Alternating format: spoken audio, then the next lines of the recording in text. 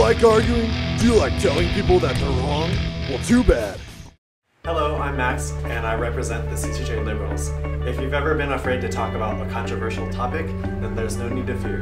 Come to the CCJ Liberals meeting and you will find a safe haven for intellectual and respectful discussion. I'll see you on Wednesday. And here's the topic for Wednesday. Everybody get up.